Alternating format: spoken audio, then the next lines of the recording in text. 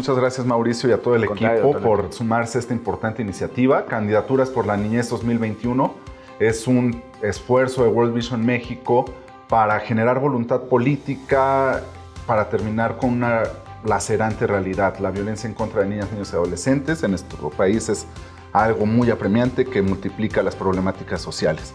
Yo le he puesto mucho más al trabajo de activistas, de organizaciones sociales, de gente que tiene vocación para incidir en la comunidad, que a crear burocracias y elefantes blancos. De verdad creo mucho en el trabajo que hacen por la niñez.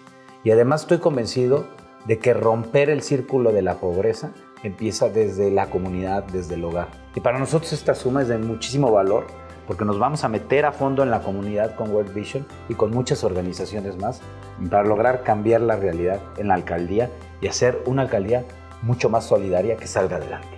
Y yo te quiero pedir, Tonatiuh, que también firmes de que nos van a ayudar en el gobierno. Claro que sí. Y vamos a ayudar a vamos la comunidad. Vamos a estar aquí y vamos a acompañarles en todo lo que podamos.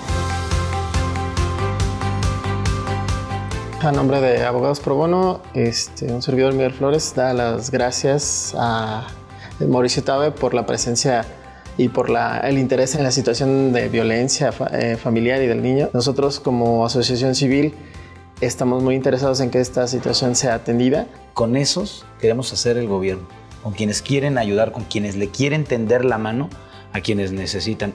Y qué mejor que a nuestros niños, que muchos son víctimas de violencia, que no tienen quien los defienda, pero aquí está gente muy generosa, con mucho corazón, y con ellos queremos gobernar, para gobernar para todos y para ser una Miguel Hidalgo muchísimo más solidaria.